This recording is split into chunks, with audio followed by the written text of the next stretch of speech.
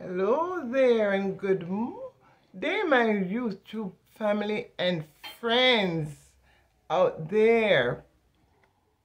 Just want to tune in with you, my family. Just want to tune in with you, my well wishers, to say this is your girl Jackie from Jackie's Faith Journey. Just wanting to give you an idea of what my day was like on my worship day. Praise God. Here we go. It's always juicy and always nice to come before the camera to tell you of what my day have been like. And as always, I just keep my mind steadfast on the Lord. You see, we have to be strong in the Lord and in the power of His might. Yes, He says in His words, He was beaten for my transgression, He was bruised for my iniquity. The chastisement of his peace is upon him. And by stripes, I, I, Jacqueline, is healed. And I'm declaring those words because he never promised that the road would not get, it would not be easy. And the hills will not be hard to climb. He never offered a victory without fighting. But he says help will always come in time. He says just remember when you're standing in your valley of decisions and the adversary says, give in, just hold on. Hold on. He will show up and he will take me through the fire again. I just know that God is for me. And if he is for me, who can be against me? I just love it when I find new strength in him I just love it when I find my faith being lifted up higher than it was. I just love it when I call upon his name that I have a blessed assurance that he is there for me always. He promised never to leave me, never to leave me alone. My fans, I don't know how much of you are saved or how much of you know the Lord for yourself. But He has done so much for me. That's why I can talk like I do. He has healed my own child from asthma attacks. She has never had another one. I think she was eight or nine years old has never had another one since I prayed over my own child. Dwindling away in front of my own eyes, I was a young convert at the time. I prayed over her after going numerous attacks of asthma and I was living in Brooklyn at the time. I have to visit Kings County every time I leave church on a Sunday mostly have to take this child to sit down on a bench to get the um the um injection pushed up in her arm you know timely. And then this very day when i looked at her she was lying there helpless. I see right in here going in like a, a hole because she's trying to breathe. And i turned my face towards heaven. I closed them and I said, in the name of Jesus. Because I, my, all my hope was gone. I felt like I was helpless. And I said, in the name of Jesus, Satan, take your hands off my child right now. Look, like I'm speaking it to you right now. I watched my child transition in front of my very eyes.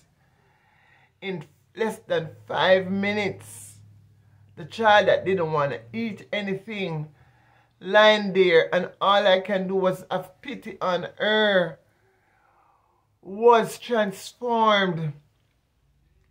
You know, a child is my child, my daughter, she was bubbly. And I saw her get up after I prayed over her. Of course, she was frightened because I was acting like a real mad black woman. I was crazy. I went berserk. And when I stormed my house and I walked through my house up and down the floors and I said, my daughter got up. I heard, I said, Mommy. I said, yes, won't call her name. She said, I'm hungry. You know how that felt to a mother that watch her child like she's going to pass away from her. That like there's no more life left in her. Well, that is a testimony I can give you. And it's for real. She is past 30, 35. And I can tell you that with two children later and married, she is doing just fine because of the word I declared over her. And just moving along. Your girl is still awaiting the doctor to start whatever treatments they're going to give. As soon as I start them or whatever, I'll let you know my process. But I just ask that you continue to send your encouraging words because when you think that you don't need someone, that's a lie. We are never able to stand on our own without good people sending wonderful, beautiful words to you. It helps to build up your spirit build up your emotions. Um, it helps to make you know that you are loved. And look, even people that's hateful can turn their ways to loving or can share a good word because in somewhere inside of them there is a spot that I can't touch, you can't touch, but God can. So, there's something good in the worst of us. So I'm asking you to kindly continue to watch a girl go through, walk through this uh, episode because I know that it's going to change. I know that I'm going to get a good report. I'm going to get good results. I know that I'm not giving up. I know that I, as long as I have King Jesus, he says, well, that song says again, um, it is all right, all right. It is all right, all right. As long as I have the Lord beside me, it is all right.